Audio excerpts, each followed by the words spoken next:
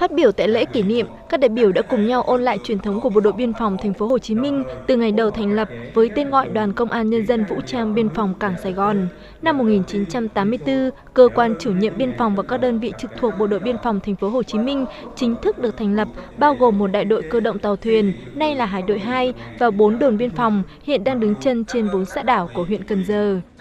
Từ ngày được thành lập đến nay, Bộ đội Biên phòng Thành phố Hồ Chí Minh luôn bám sát địa bàn, dựa vào chính quyền địa phương và nhân dân để vừa ổn định tổ chức, vừa triển khai các biện pháp công tác nghiệp vụ, xử lý hàng trăm vụ buôn lậu, gian lận thương mại, tích cực tham gia vào công tác tìm kiếm cứu nạn cứu hộ.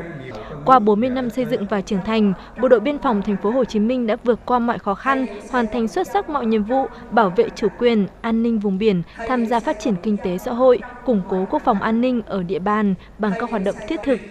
Nhân dịp này, Bộ đội Biên phòng Thành phố Hồ Chí Minh đã vinh dự được nhận cờ truyền thống của Ủy ban nhân dân Thành phố Hồ Chí Minh trao tặng vì những đóng góp to lớn cho sự nghiệp biên phòng trên địa bàn thành phố.